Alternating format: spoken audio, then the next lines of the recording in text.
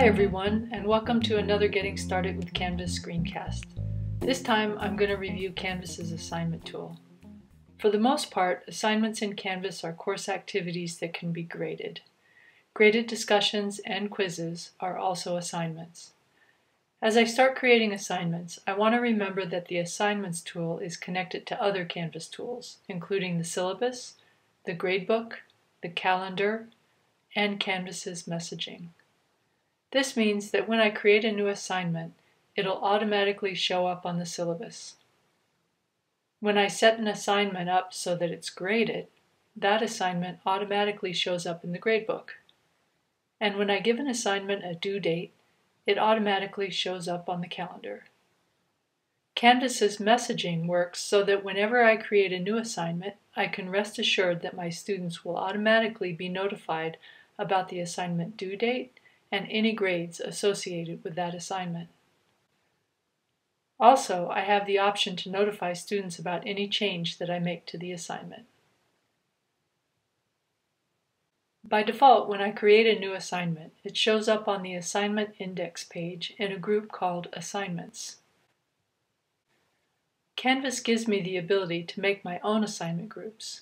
I can do this on the index page by selecting Plus Group.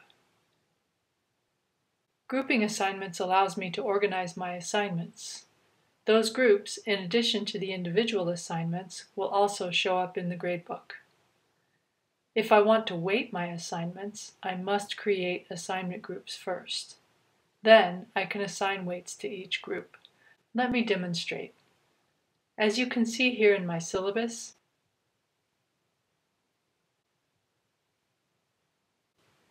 I have three general types of assignments homework, essays, and exams. And so in Canvas, I'll create three assignment groups that correspond to these three types of assignments.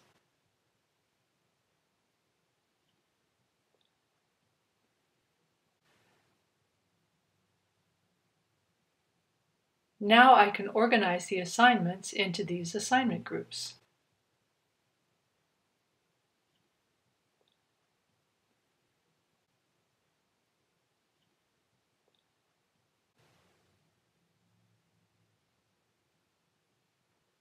And then I can weight these assignment groups to match what I have in my syllabus. I'll give the essays the most weight at 45%, and then I'll weight the homework at 25%, and the exams at 30%. Okay, these weights will now show up here on the assignments index page. They'll also show up in the syllabus and they'll show up in the gradebook where the weighting will be automatically calculated for students as we move through the course. One more thing to note on the assignments index page. Whenever you create a graded discussion or a graded quiz, those two assignment types show up on the discussions index page the quizzes index page, and if they're graded, they also show up on the assignments index page. This doesn't mean that the assignments are duplicated.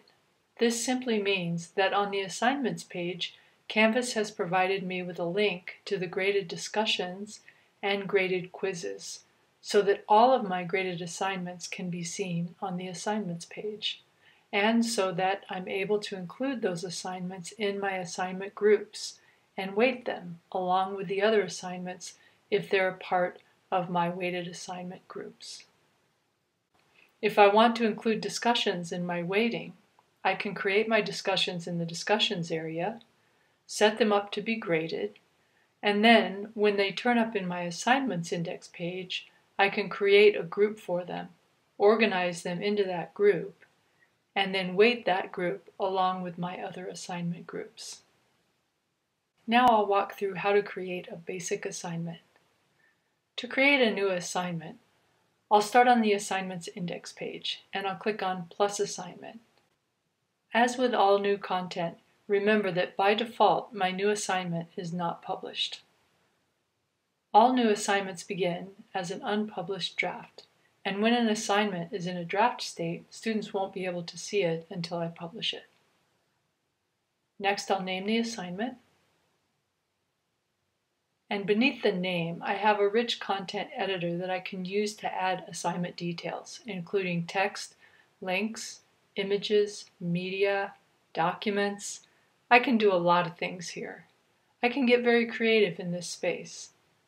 But as a general rule of thumb, I want to be sure to use this space to communicate the assignment details and expectations. Once I've described the assignment, I'll mark all of the other settings. First, I'll set the value of the assignment. This assignment is worth 100 points. Then I'll set how I want students to see their grades. Under Display Grade, I can select points, percentage, complete or incomplete, letter grade, or a GPA scale. In my class, I'm using points, so I'll set display grade to points as well. Sometimes I want to use the assignment tool to announce an activity, and I want students to finish the activity by a certain date, but I'm not going to grade this assignment. Think of a reading assignment, for example. I can use the assignment tool for this kind of activity by simply selecting Not Graded. If I make this selection, this assignment won't show up in the gradebook, but it will give students a reminder of when it's due. If I decide that I'm going to grade the assignment, then I want to determine how I want students to submit their assignments. I do this by setting the submission type.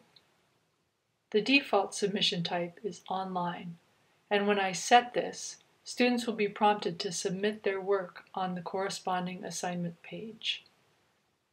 If I'm asking students to submit their work online, I also need to specify exactly how I want them to turn the work in. I can ask them to submit their assignment directly into Canvas using a text entry. I can ask them to submit a website URL. I can have them submit a media recording, or I can ask them to upload a file. When I select the File Uploads option, I'll be prompted about restricting the file format. This is important because to effectively grade papers, I may need everyone to submit the same type of file so that I can use the software I have to grade the papers.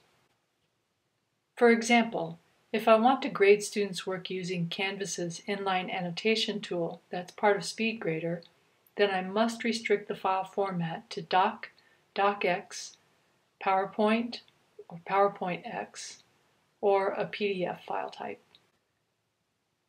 I can also select multiple submission types, which might apply for a larger project with multiple deliverables, or a project that gives students more than one option for the format of their final deliverable. I can also have my students submit their work on paper, which is a great choice if students are turning in their work in class. If I'm having students do an assignment that doesn't involve a deliverable that they hand in, like an in-class presentation for example, then I can select No Submission. I'll still have a gradebook column that I can fill in by hand, but Canvas won't ask students to turn something in. Rounding out the submission types, Canvas is built to integrate with third-party external tools, such as a textbook site or anti-plagiarism software. Working with various external tool vendors, ACNS at CSU and Canvas have already set up several integrations with third-party external tools. We have integrations with Cengage, McGraw-Hill, and Pearson's MyLab, for example.